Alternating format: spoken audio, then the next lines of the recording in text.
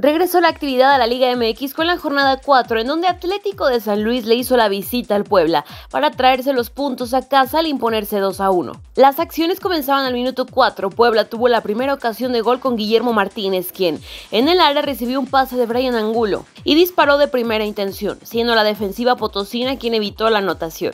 Al 16, los potosinos abrieron el marcador con una jugada en la que Ricardo Chávez desbordó por la barda y centró la pelota para en el área encontrar a Mateo Klimowicz, quien aprovechó un rechazo del arquero y remató de primera intención, marcando así el primer gol del encuentro. Para el segundo tiempo, al minuto 71, Atlético de San Luis amplió su ventaja en el marcador con Vitiño, quien, luego de un recorte, disparó de pierna derecha y venció al guardameta Jesús Rodríguez.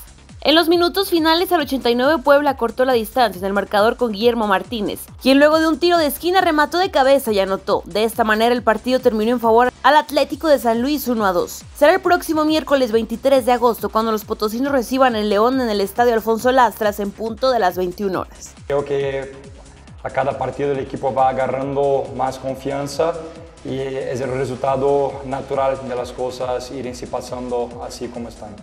Sí, sí, seguro. Esa es una cosa que tenemos muy claro, muy en cuenta, que sufrimos a los minutos finales porque quisimos nosotros, porque tuvimos algunas oportunidades, no fueron pocas, de hacer el tercer gol y matar el partido.